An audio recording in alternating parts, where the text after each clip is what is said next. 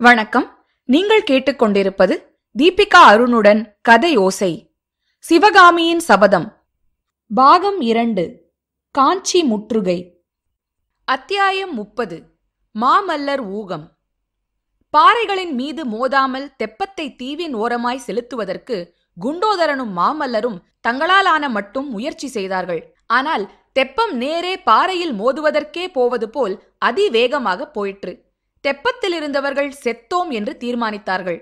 சுகபிரம்ம ரிஷி அலறிக்கொண்டு பறந்து போய் பாறையில் உட்கார்ந்து கவலையுடன் பார்த்தார். தெப்பம் பாறையில் மோதிற்று. பானைகள் சடசடவென்று உடைப்பட்டன. மூங்கில்கள் நர நரவென்று முறிந்தன. தெப்பம் ஒரு சுற்று சுற்றி விட்டு தபதபவென்று தண்ணீரில் மூழ்கிற்று. பாறையிலே தெப்பம் மோதப் போன சமயத்தில் சிவகாமி ஆ என்று சத்தமிட்டுக் கொண்டு படகில் எழுந்து நிற்க முயன்றாள். அடுத்த கணத்தில் அவள் தூக்கி தண்ணீரில் எரியப்பட்டாள் கண் முன்னால் ஆயிரம் மின்னலின் ஒளி போல் பிரகாசமாய் இருந்தது அப்புறம் ஒரே இருள்மயமாயிற்று காதில் மொய் என்ற சத்தம் ஒலித்துக் கொண்டிருந்தது. வெகு நேரமாக தோன்றிய உணர்ச்சியற்ற நிலைக்கு பிற்பாடு ஏதோ உணர்ச்சி உண்டாவது போல் தோன்றியது. கால் விரல்களிலே ஏதோ மணல் தட்டுப்படுவது போல் தோன்றியது. பானை தெப்பத்தில் ஏறி வந்தது. தெப்பம் பாறையிலே மோதப்போனது முதலிய விவரங்கள் ஒரு கணத்தில் ஞாபகத்துக்கு வந்தன. உடனே தான் தண்ணீருக்குள்ளே மூழ்கியிருப்பதும் மூச்சு விடுவதற்கு கஷ்டப்படுவதும் உணர்வில் தோன்றியது. ஆஹா மாமல்லரும் மூழ்கியிருப்பார் அல்லவா இரண்டு பேரும் சேர்ந்துதானே வெள்ளத்தில் மூழ்கினோம்? ஒருவர் கையை ஒருவர் பிடித்துக்கொண்டு செத்துப்போக கூடாதா?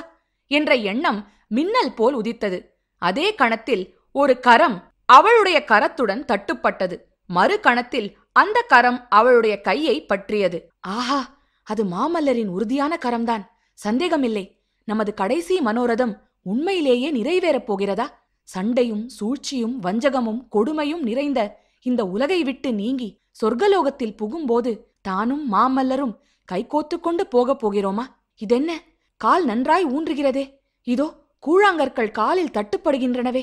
இதோ திடீரென்று வெளிச்சம்.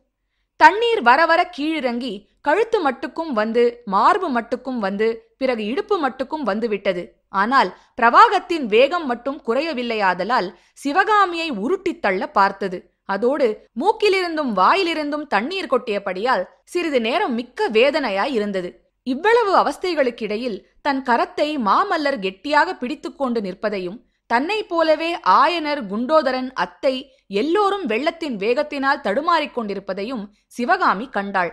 சுகர் வட்டமிட்டுக் கொண்டு கீச் கீச் என்று கத்துவதையும் ரதி எப்படியோ வெள்ளத்திலிருந்து பிழைத்து கரை மீதிருந்த பாறையில் தலையை வைத்துக்கொண்டு ஏற முடியாமல் கால்களை உதைத்துக் கொள்வதையும் பார்த்தாள். பானை தெப்பம் மோதிய இடத்தில் வெள்ளத்தின் வேகத்தினால் பெரிய பள்ளம் ஏற்பட்டிருந்தது. ஆனால் அடுத்தாற்போல் சமீபத்திலேயே ஆழம் குறைந்து தண்ணீர் மேட்டுப்பாங்கான இடத்தில் பரவி பறந்து சென்றது.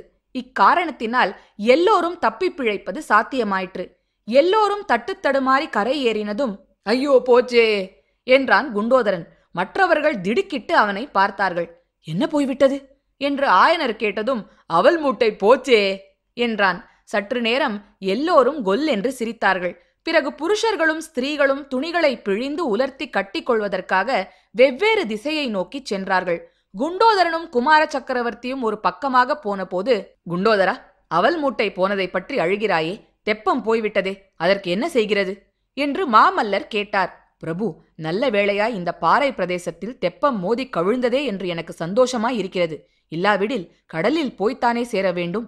சமுத்திரத்து அலைகளிலே இந்த பானை தெப்பம் என்ன செய்யும்? என்றான் குண்டோதரன். இருந்தாலும் தெப்பத்தையும் காப்பாற்றியிருக்கலாம் நீ மட்டும் இன்னும் கொஞ்சம் லாவகமாய் கழி போட்டிருந்தால்.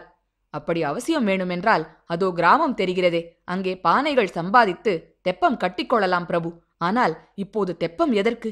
இந்த வெள்ளம் அடங்குகிற வரையில் இங்கேயே இருப்பதுதான் நல்லது. அழகுதான் குண்டோதரா என் சைன்யத்தை எங்கேயோ விட்டுவிட்டு நான் இங்கே இருக்க வேண்டும் என்றா சொல்லுகிறாய்? இவர்களை ஒரு பத்திரமான இடத்தில் சேர்த்த உடனே நாம் இதே தெப்பத்தில் புறப்படலாம் என்று எண்ணியிருந்தேன். புறப்பட்டு என்ன பிரயோஜனம் பிரபு? இந்த பெரு வெள்ளத்தில் எங்கே போகிறது? என்ன செய்கிறது? சைன்யம் தாங்கள் விட்ட இடத்திலேயே இருக்குமா? தென்பெண்ணை கரையெல்லாம் இப்போது ஒரே வெள்ளக்காடாய் இருக்குமே. அதனால்தான் அவசியம் நான் போக வேண்டும். பரஞ்சோதியும் மற்றவர்களும் என்னை பற்றி என்ன நினைப்பார்கள்? என்ன நினைப்பார்கள்?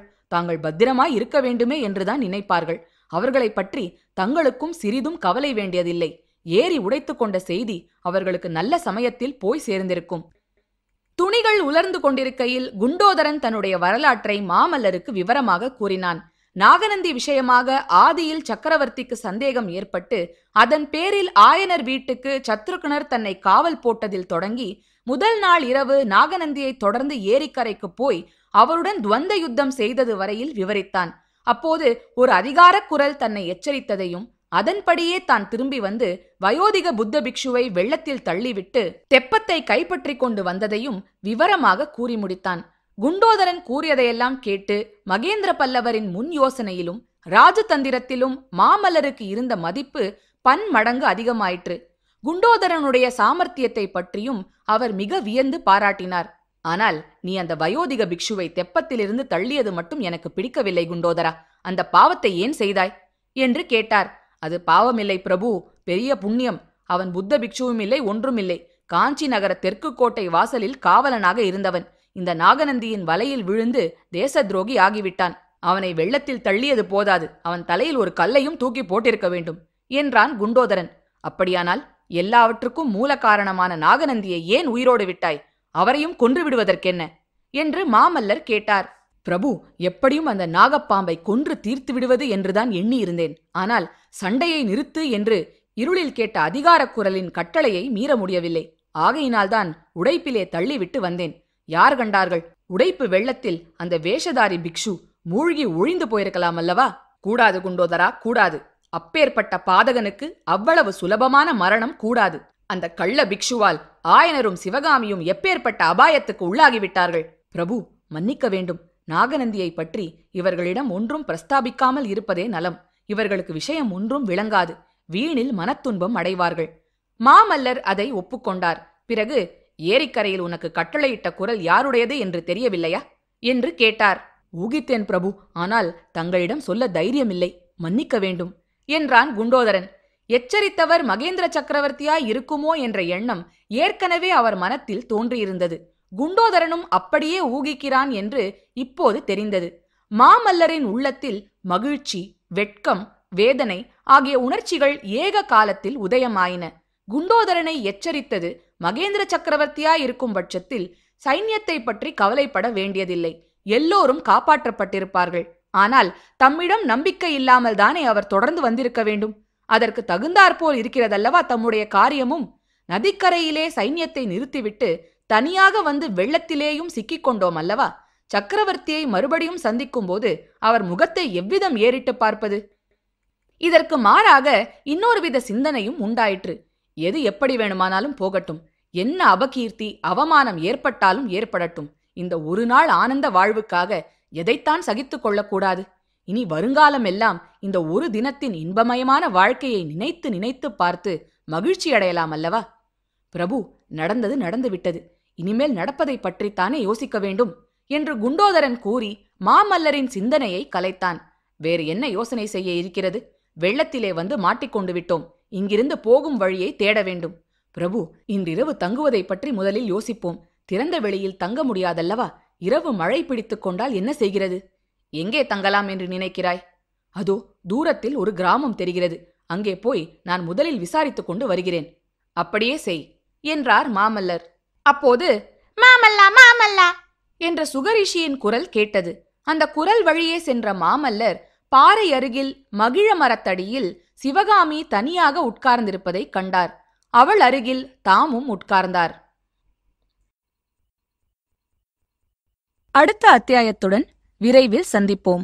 கதை ஓசையின் இணையதள பக்கம் W W W dot Kathaiyosai dot com உருவாக்கப்பட்டுள்ளது.